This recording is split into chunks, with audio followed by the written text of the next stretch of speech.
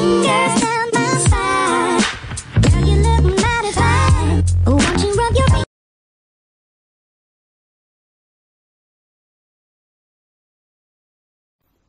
दोस्तों, मैं चंद्र Chauhan, glorious education में आपका स्वागत करता हूँ।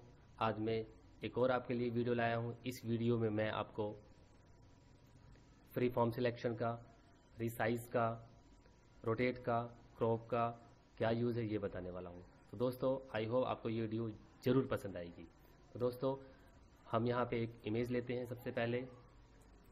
जैसे मैंने ये इमेज सेलेक्ट करी और ये इमेज हमारे पास आ गई।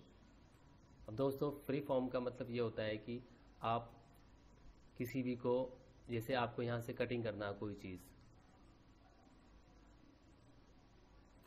आप इमेज को ऐसे सिलेक्ट करके आप करेंगे, देखिए फ्री फॉर्म की तरह, यानी कि ये फ्रीली मूव करता है कहीं भी। आप अपने अकॉर्डिंग किसी चीज़ को भी कट कटिंग करना हो, जैसे कि मेरे को यहाँ से कटिंग करना है, बहुत सावधानी से करना होता है बट माउस हिल जाता है, इसका थोड़ा ध्यान देना होता है हमें।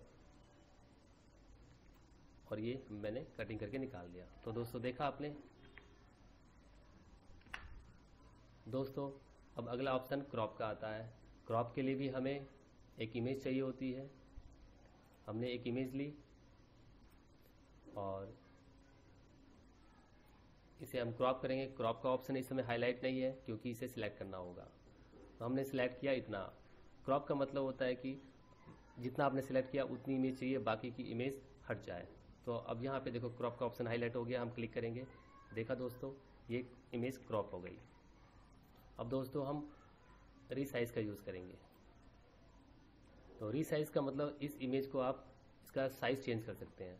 तो देखें रीसाइज के अंदर हॉरिजेंटली वर्टिकली हॉरिजेंटल वर्टिकल फिर से इसमें है, ये डिग्री पे चेंज होता है, ये साइड से और अप डाउन से होता है वर्टिकली तो दोस्तों, यहाँ पे वैल्यू हम चेंज करेंगे, जैसे कि हमें 10 पे हटा करके हमने यहाँ 50 वैल्यू रखी तो ये 50 एंगल पे ये छोटा हो जाएगा साइड से.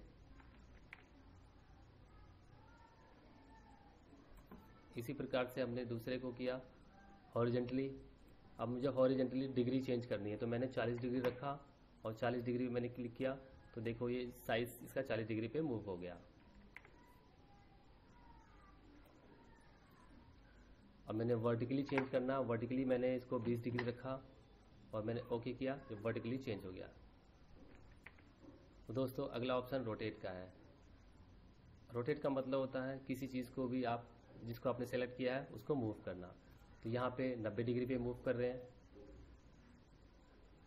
और रोटेट लेफ़्ट 90 डिग्री पे आपने इसको मूव किया 180 डिग्री फ्लिप में और हॉरिजेंटली मूव करना।